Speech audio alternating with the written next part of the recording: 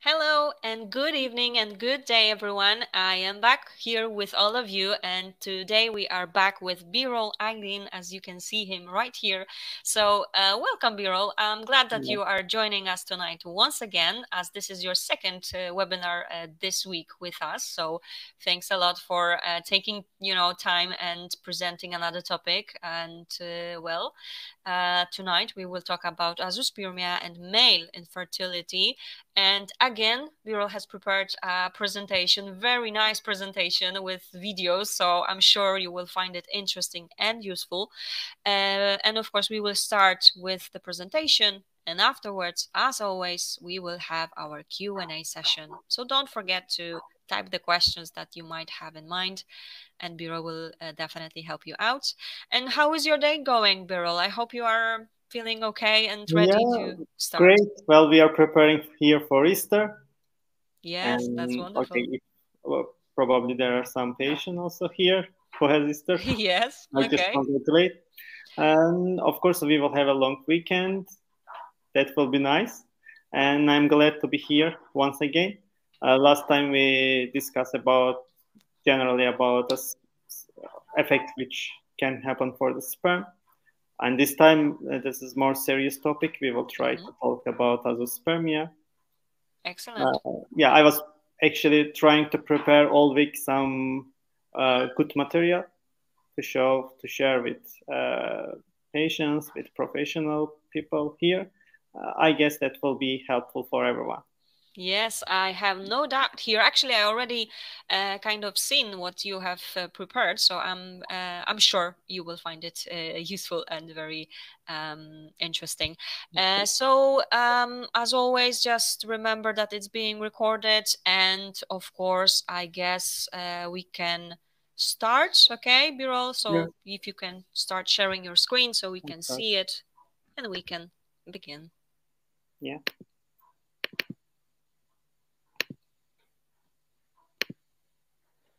Okay, thank you.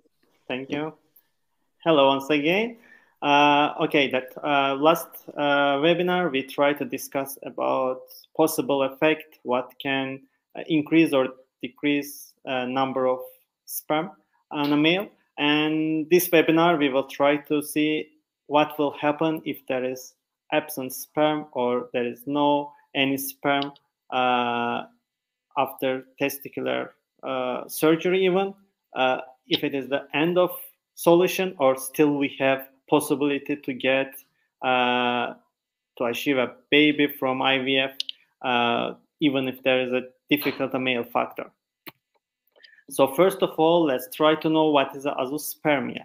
So azoospermia is the condition in which sperm are not detectable in an ejaculate. So basically, which we get a sperm with method of masturbation, so we will not find any moved or uh, immotile spermatozoid uh, in a microscopic checking. So if no sperm seen in semen sample, then we mostly centrifugate this sperm with a 3000 G speed, uh, almost 15 minutes. Then we check again with a microscopic checking. And if we don't have still spermatozoid that we are calling azoospermia. So there is a zero sperm count. So classification of azoospermia, we have a basically uh, three kind of uh, situation.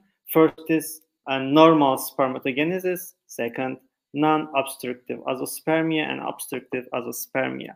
So when we found all tubules have spermatozoid that we are calling a normal spermatogenesis, and mostly we found uh, big number of concentration on the microscopic checking. If we have only like around 20% of tubules which have a sperm that we are calling non-obstructive azoospermia, and this number, if decreased to 100 tubes of the uh, one of the 100 tubes have sperm, then we are calling obstructive azoospermia. Obstructive azoospermia, sperm produced by the testis, but there is no live or immotile sperm in the semen. And non-obstructive azoospermia, there is a production of sperm very low or absent. So there are two causes of this situation. First is if there is a defect on the production uh, by testis, and second is defect at the level of hypothalamus. So what uh, we can do for the investigation of azoospermia, of course, the basically first thing semen analysis, then endocrine evaluation, FSH hormone, uh, serum testosterone test, LH or estrogen, prolactin or TSH thyroid test, genetic testing, karyotyping, and Y microdeletions. The basic test how we can investigate azoospermia. Uh, if we check the hormonal profile, there is a balance between FSH and LH. So when FSH increase, LH increase, that means that will be low testosterone. And when FSH increase and normal LH, we will find a normal testosterone and we will not get difficulties even uh, to find spermatozoid after testicular surgery. But when decreased FSH and decreased LH, then testosterone will be low and our chance will be less after the testicular surgery to find spermatozoid. Uh, if we try to make a genetic evaluation of the azoospermia, for the non-obstructive azoospermia, firstly, we should check almost karyotype and Y chromosome microdeletion because they are the main reason of non-obstructive azoospermia. And if we check obstructive azoospermia, mainly cystic fibrosis gene mutation, the main cause, and we need to follow it. Uh, karyotype is really key factor for the azoospermia to find out the main reason. Uh, can be Klinefelter syndrome. So there is two copy of the X chromosome and one Y chromosome, uh, which we can, can detect by the karyotyping.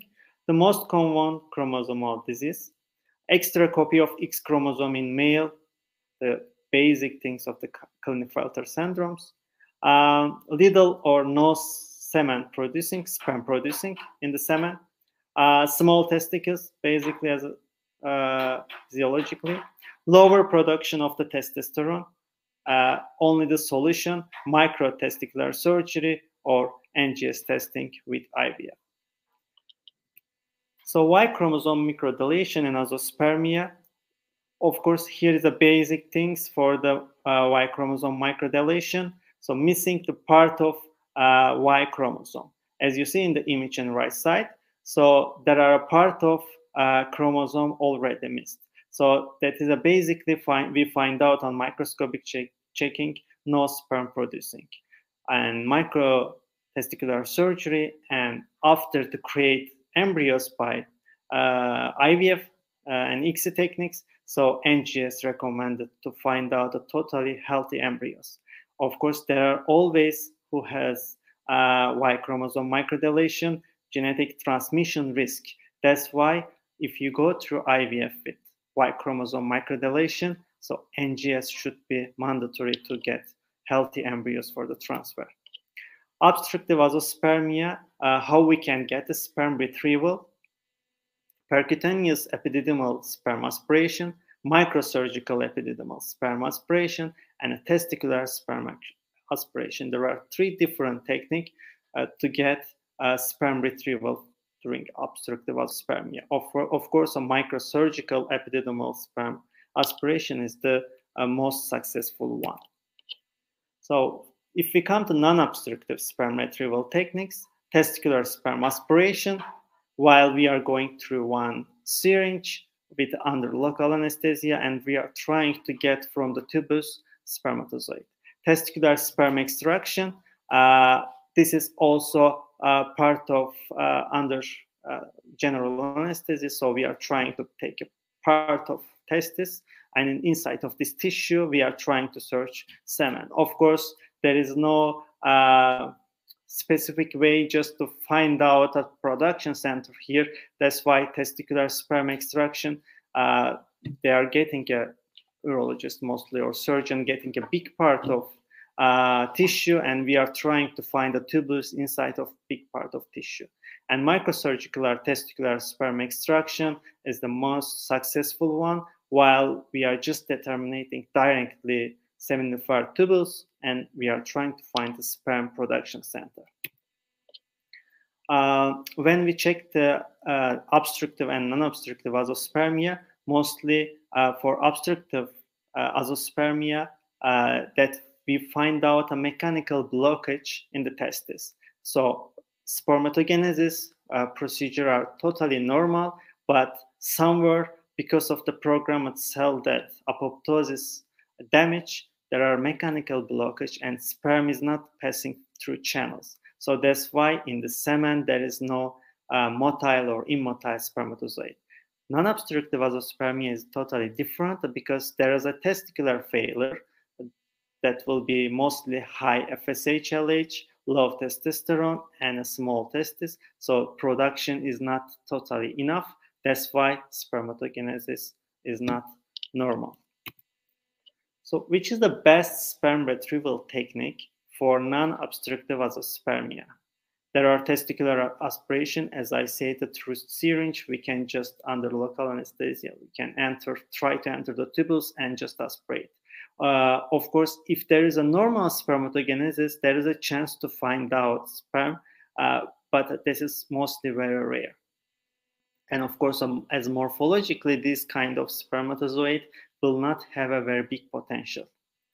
Uh, if we get a TESA, uh, I mean a testicular surgery, that is a most successful. We are because we are getting directly part of tissue and we have chance to reach as embryologists directly inside of tubules and to find uh, more quality of the spermatozoid which have possibility of less sperm DNA fragmentation and of course mostly uh, when we make a testicular surgery after fertilization is very high and even if morphology looks worse because of low sperm DNA fragmentation, mostly we get high quality of embryos.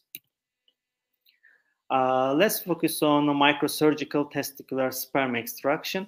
So microtesticular surgery technology developed to detect sperm microscopic testicular tubules. So we are going through special microscope.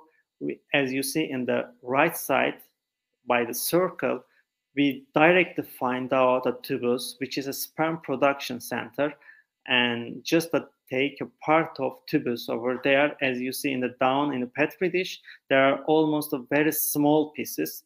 If we compare with the regular testicular surgery, so tissue should be uh, double or triple times bigger than this. Uh, so that's why there is an advantage of microsurgical testicular sperm extraction.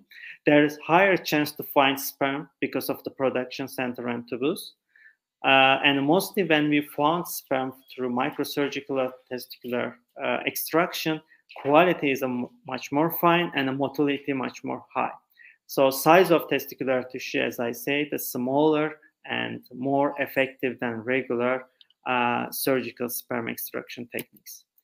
So in the first video now you will see how we are trying to determine uh, exactly sperm production center and seminifer tubules.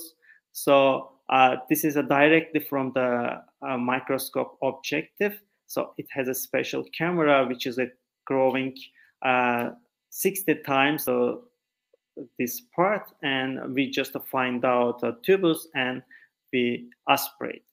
So uh, that after that, we are trying to search after the dissection of these tubules, embryologists trying to search under microscope to find out uh, motile sperm. So as you see, there are many different sperm and spermatid over there. And finally, when we find the motile sperm, we just aspirate and using for uh, intracytoplasmic sperm injection as ICSI. So um, I will try to share kind of study uh, which is evaluating the outcome between conventional testicular surgery uh, for non-obstructive azoospermia. So and you see uh, FSH and LH when uh, is uh, high. So almost we find out uh, testicular surgery negative results. So we cannot find the spermatozoid. And when testosterone is low, also we get uh, non-sperm found. That that is normal because you know FSH and LH is working opposite with the testosterone, and also uh, as you see in the study, age group is the same and prolactin level almost is the same. And the graphics it shows uh, how is the testicular surgery positive and negative cases by the FSH level. So when FSH level increase, totally uh, also testicular surgery negative cases are increasing. This is another uh, study. It's show, showing uh, for the after the microdissection testicular sperm extraction, how we get for non-obstructive azoospermia. Uh, when you see for the different kind of effect for the Sertoli cells and maturation arrest, so during the uh, cell percentage increasing, also we can find a less number of spermatozoid. the same graphic in the uh, right side, when uh, it's increasing at testicular surgery after the testicular surgery to find a number of spermatozoid and uns unsuccessful uh, result rate is increasing as well. So uh, this study shows how male and female factors that influence to intracytoplasmic sperm injection outcome in azoospermia and aspermia. Of course, is important because when we try to analyze female and male factor, if sometimes both of them can be, of course, uh, we need to understand which factor can be much more effective. Uh, and then we can try to uh, build a system of the working or uh, process in the laboratory. So here, as you say, as a male pathology, uh, when non-obstructive or obstructive azoospermia, as almost 100 cases they analyzed, similar age group uh, between male and female. So um, number of pregnancy, if we check from, from the non uh, non-obstructive azoospermia, 22, almost like a, a 30%, and obstructive azoospermia around uh, 20%. So that shows uh, when problem in the male factor, in the right side, you will see the same situation as a female.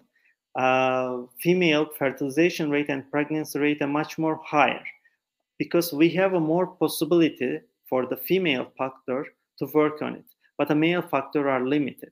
When we find out uh, spermatozoid after testicular surgery, if we don't use any kind of uh, advanced technologies or a special way to increase the chance of activity after the fertilization between oocyte and spermatozoid, uh, we cannot find almost high quality of embryo. While morphologically, sperm is not perfect, of course, because we have a limited number. Sometimes after testicular surgery, we are able to find only one or two motile sperm.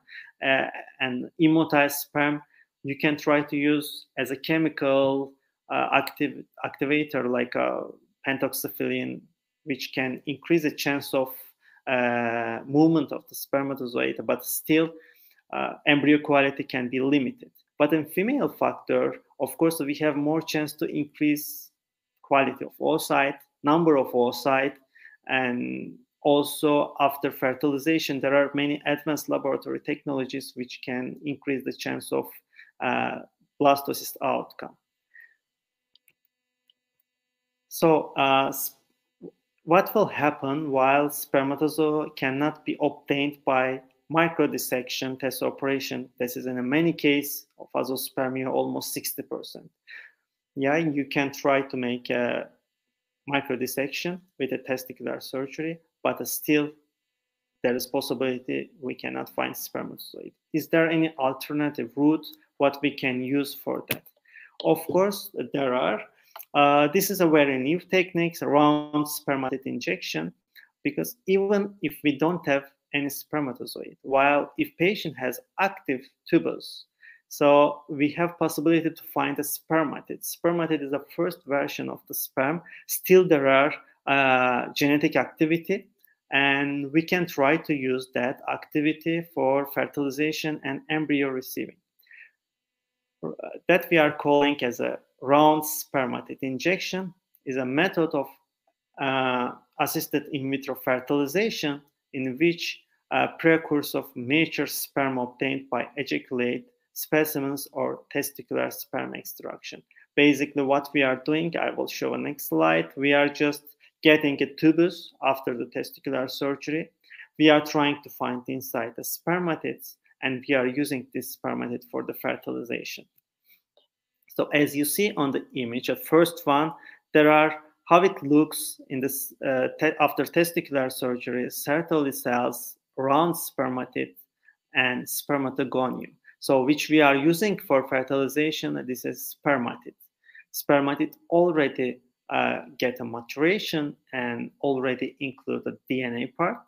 So uh, we are choosing the best uh, spermatid, which can be uh, potential of to create a spermatozoid. So we just select with the special pipettes. So several of them depends of number of oocyte and we just inject them and with a special electrical activator we are just making activation between oocyte and spermatozoid. So there is a video now I will try to show how we are doing that. This is the spermatid what you see. Uh, we are just catching spermatid and we are trying to inject to, to oocyte as we are doing ICSI. So now we will inject the spermatid and we will try to uh, activate this. We need to give some electrical pulse so to push this uh, spermatozoid spermatid to get a spermatozoid and fertilize the eggs. So in the next, uh, there is the advanced technologies which we need to use to activate this sperm, uh, spermatid. So as you see, this is a kind of preparation how we are activating. We already inject spermatid in inside of uh, oocyte, uh, egg, and now we are giving electrical pulse. As you see, we are loading some kind of uh, voltage, and then we are applying already inside of dish. There is fertilized, I mean, there is a sperm which, uh, an egg, uh, which we use a spermatid to inject the oocyte, and now we put on the dish and just we give electrical pulse. Of course, it's not enough only to use this one, uh, but still, uh, when we make the testicular surgery, if we obtain a number of spermatozoids, which is enough for fertilization, and if we have a chance for selection, better to use additional techniques as IMSI technology uh, to try to find out high quality of spermatozoid. And we are using for that IMSI technology. Now you will see this is a 600 times a magnification. We are trying to determine uh, spermatozoids, especially on head and neck. As you see the first sperm, which is coming from up, totally fine, and second sperm has already some uh, unshaped head and some defect.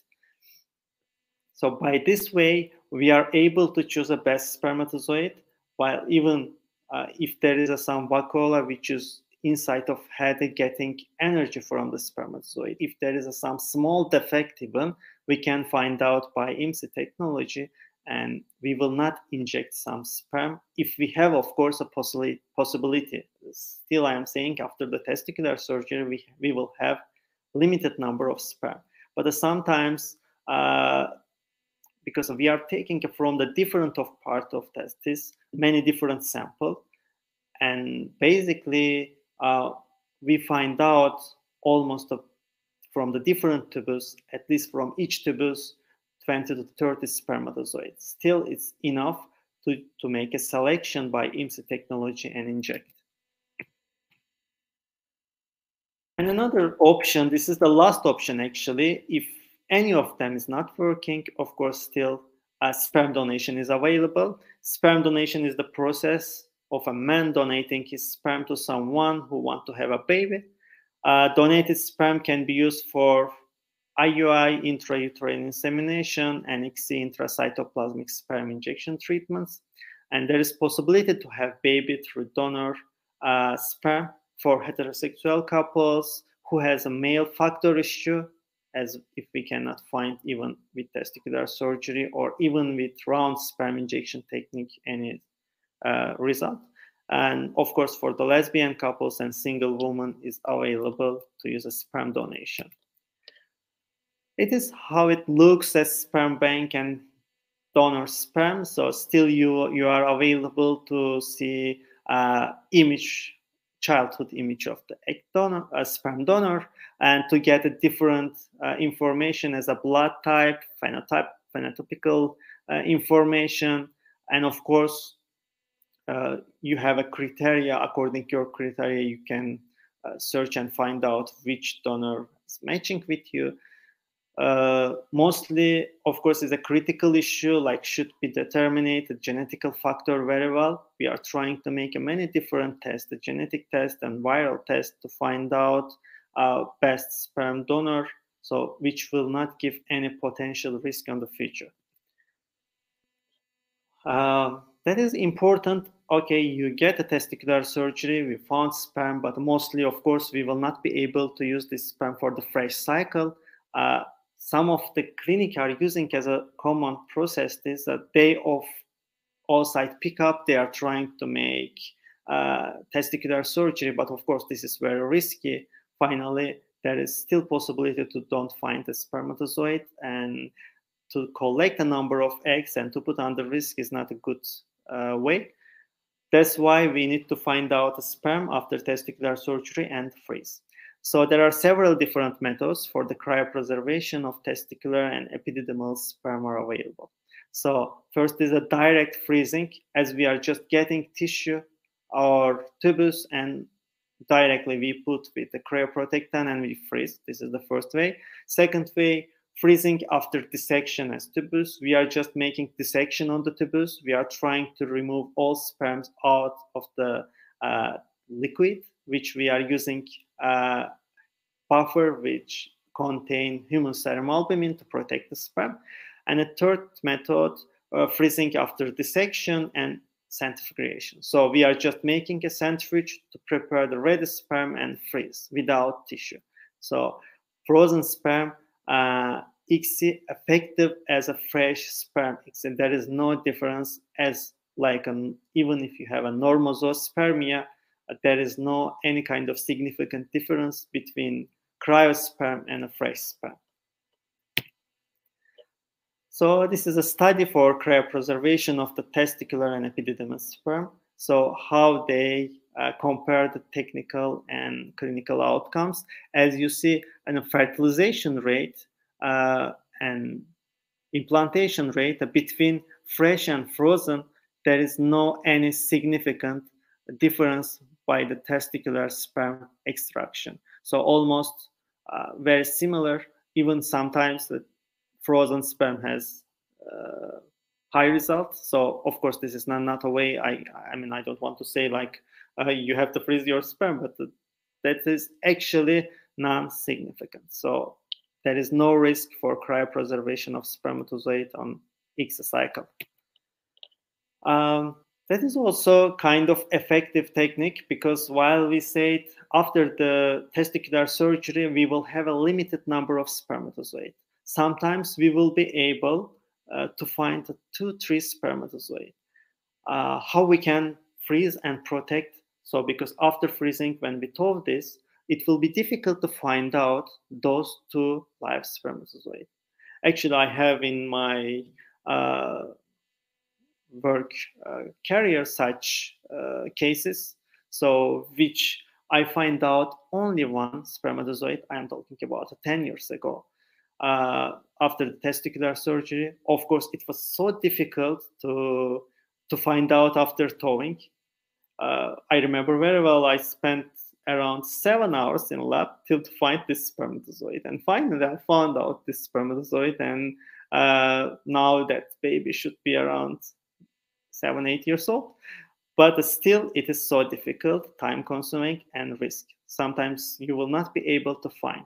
Okay, this device, we can freeze a sperm one by one.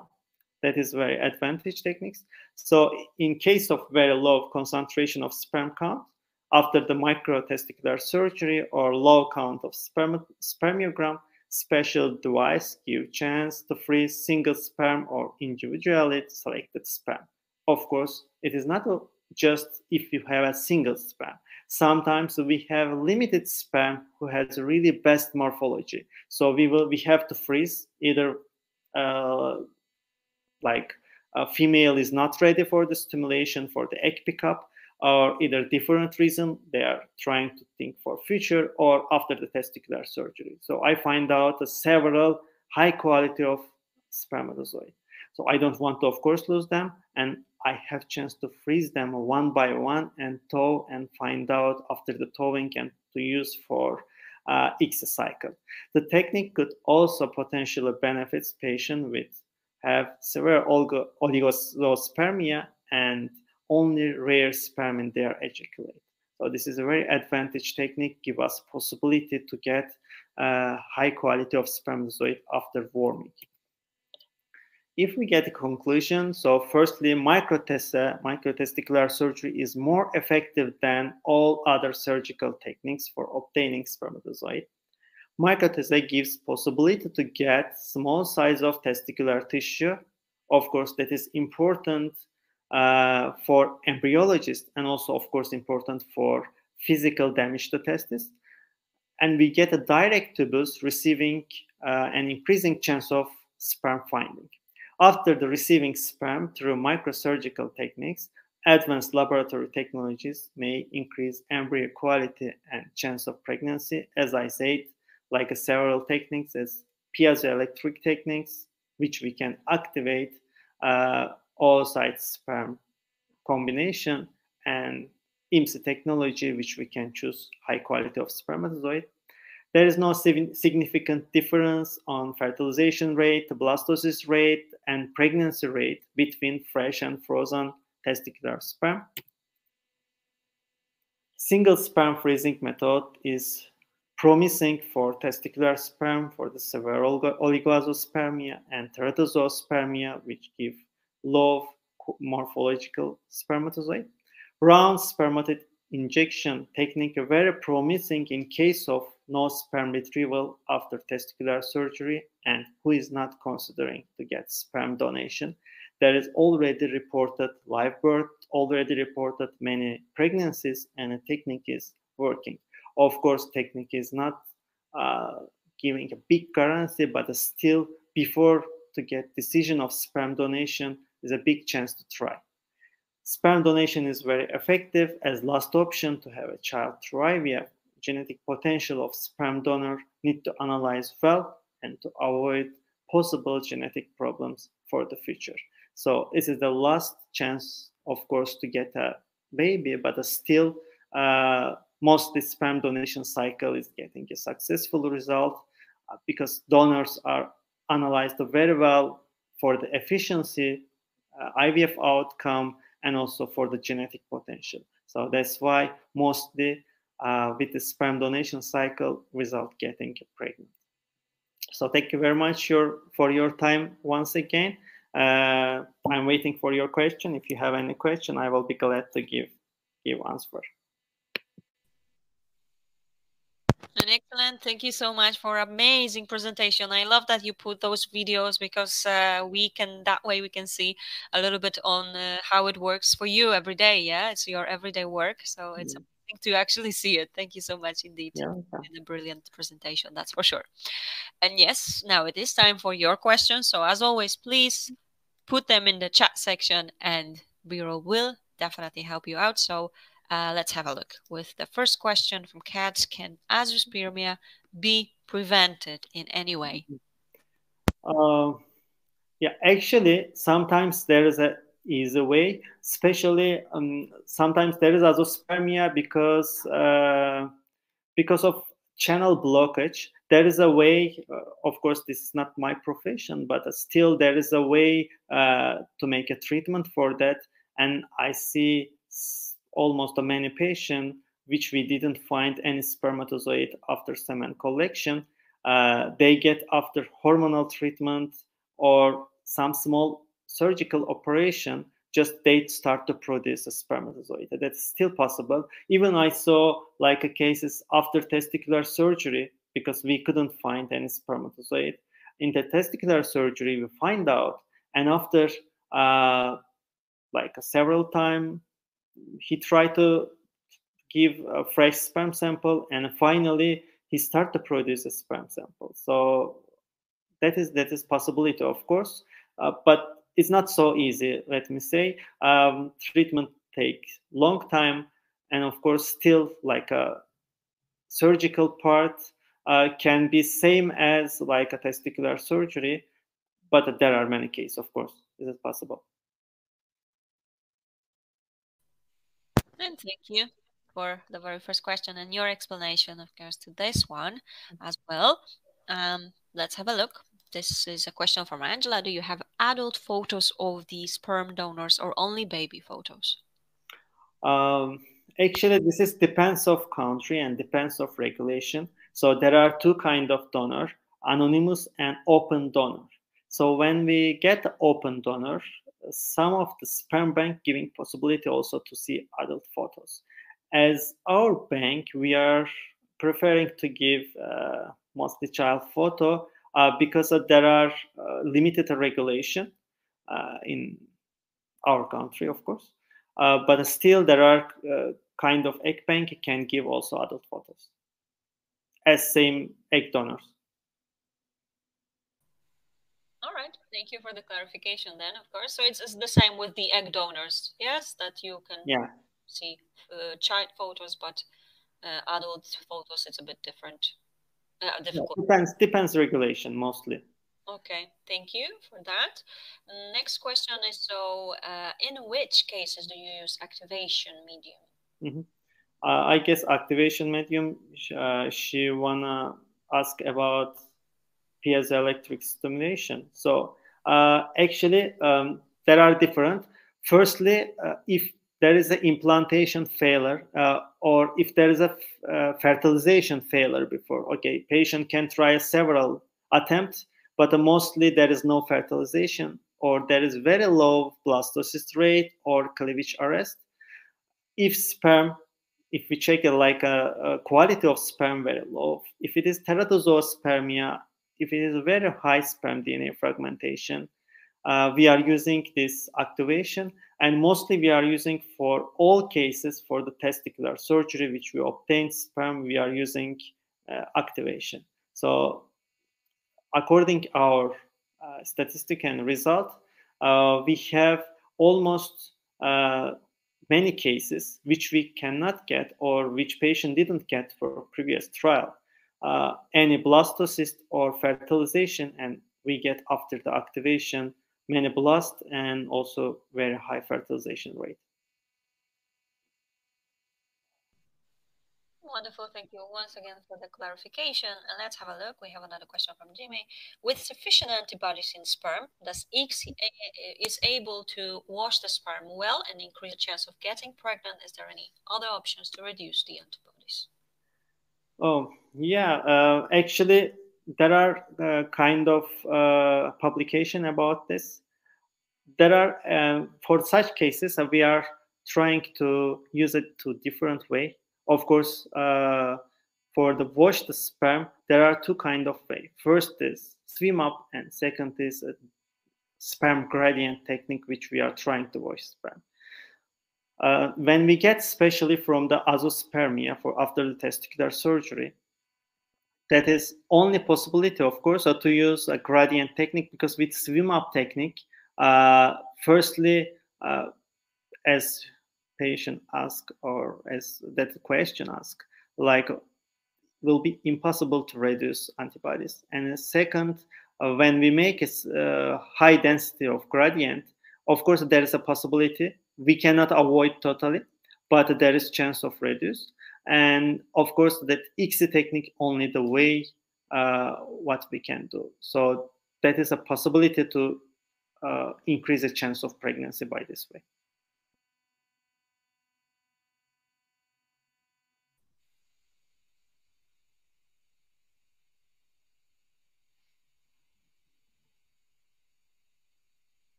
Okay, I see another question. Um, yeah, actually, uh, we are we are making a transport quite often. uh, from Ukraine to other countries. Uh, and mostly we have ready database, so patient can choose online uh, from the database which sperm donor they like. And there are two kind of shipment. The first is hand carry shipment. Of course, because of COVID restriction, and sometimes it's difficult, but still uh, cargo shipment also available. Uh, and both we are trying to do uh, quickly as patient prefer. Depends of patient treatment, but and depends of country. But mostly when patient choose, and our courier companies uh, trying to prepare documentation quickly, and we are making shipment so quickly. So uh, there is no waiting list or long waiting time if patient find uh, good donor according to them. So for us, it will be very quickly to move the sperm and ship. And again, thank you so much for that as well. Um, and let's have a look, okay? More questions coming in. So what can you say about long-term health for the babies in which was uh, used pio, sorry, electric? No, piezoelectric. Yeah. Okay. Uh, of course, a piezoelectric is a new technology. It's a very low uh, length wave of the electric. So that uh, any article, any publication couldn't find any side effect uh, because we are doing in a very early stage. So it's already a fertilization stage. If there is a, some mechanical side effect, of course, we should see during the embryo development, but there is no any during the embryo development. Uh, we have already uh, babies, so which already born. We didn't see any kind of during pregnancy any kind of anomaly on ultrasound. Uh, also baby was born we don't have any kind of uh, like abnormality or problem or health problem so of course still as i said this is a one or two years of technique still need time to analyze but uh, finally like effect can be two side well first is a mechanical we can see as a some physiological effect but there is no and from the genetic side so embryo already tested which we are using for the piezoelectric. Also, we are testing. Actually, we are trying to test almost 90% of our cases before transfer with NGS sequencing testing, and we didn't see any kind of uh, anomaly or health problem till now.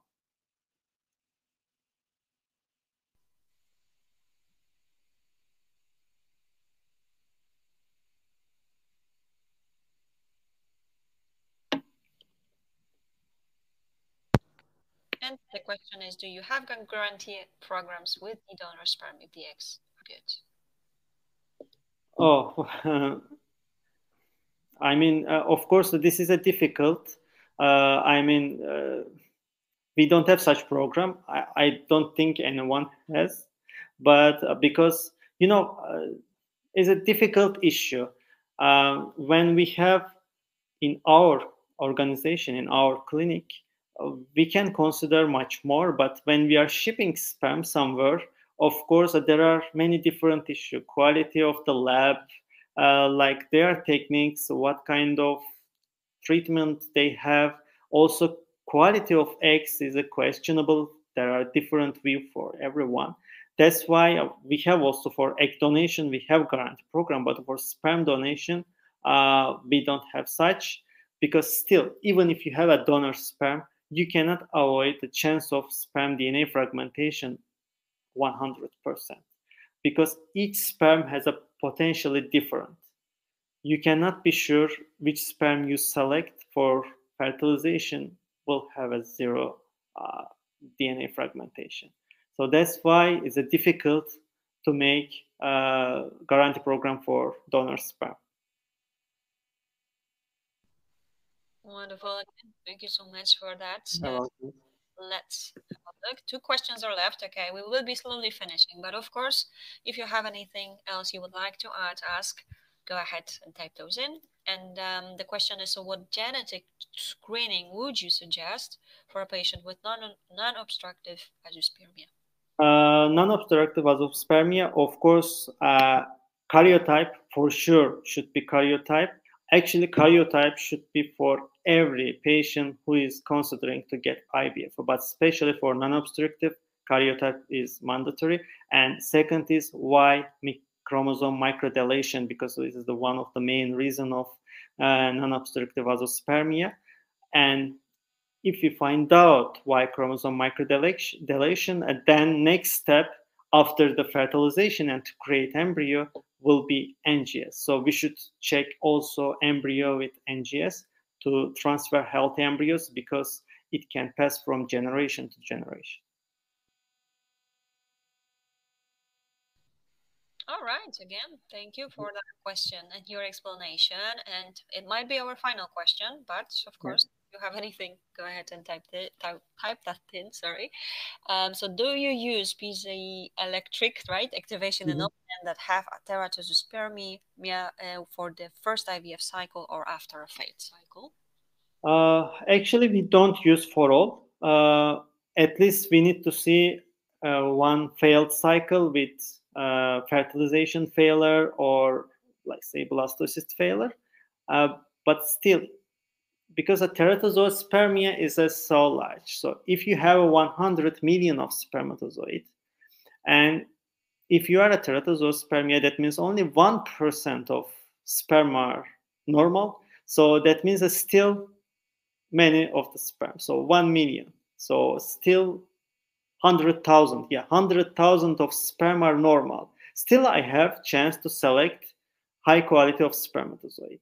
That's why, uh, but when we have azoospermia and we found a testicular surgery, uh, several spermatozoid, for sure we are using even in its first cycle piezoelectric activation.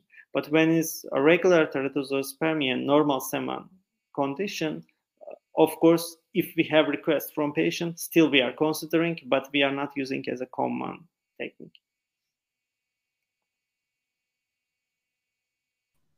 And that was another interesting question. Thank you so much, Birol, for answering. And uh, well, we will be finishing. I don't see any more questions, but of course, I also want to add that if you do have any other questions, you can also get in touch with Birol and his team, and I'm sure they will be happy to yeah. help out and uh, there is um, a link. I see that it's not there. So, of course, uh, don't worry. You will be, after the event is done, you will be redirected to Birol's uh, profile on our website. And that is, there is an option for you to simply get in touch with uh, him as well. So don't hesitate, okay? And uh, um, as you can see, there are some thank yous for you right here for your brilliant presentation. My pleasure. I totally agree. It was definitely an interesting presentation. So huge thanks for that. And again, everyone, thank you so much for joining us tonight for your incredible questions for sure. And for, you know, spending um, this Friday evening with us as well on this topic as well. Um, and Birol, before I let you go, anything else you would like to add? Yeah, uh, actually, I'm also glad to share all my experience. Uh, I hope we will meet again with uh, some different topics, interesting topics. I will be always happy uh, and always be ready to meet here and to share experience, uh, different uh, knowledge, different techniques because IVF is developing so fast. Uh, there are a lot of research, a lot of scientific effort to get a better result. And I hope uh, we will find out much more things, much more advanced technologies, which we can help the people to get get baby because they are really affording so much. As emotionally is so difficult for them, and I'm really glad to be part of this uh, hope, their hope, and try to help them. I wish everyone lovely evening, lovely day. So hope to see you again. Perfect. And we are definitely looking forward for our next webinar with you. Uh, you always uh, bring lots of new um, details here as well. And of course, thank you so much once again. And Birol, happy Easter to everyone else. Of course, remember uh, that we will back we will be back here, but actually we have a break, a little bit of a break, and we will be back on the 10th of May. So already you can sign up and I hope to see you there. So everyone have a lovely evening and also weekend. And of course uh, this uh, has been recorded. You will be able to find it on our site my ivf answers and i can only encourage you to subscribe to our youtube channel. As you know there are over 300 webinars available so plenty of topics. And there is also one more webinar with Birol that we had on monday. So if you would like to check this out as well go ahead and do it. Thank you so much Take care, everyone. And again, have a lovely day or evening. Take care. Bye.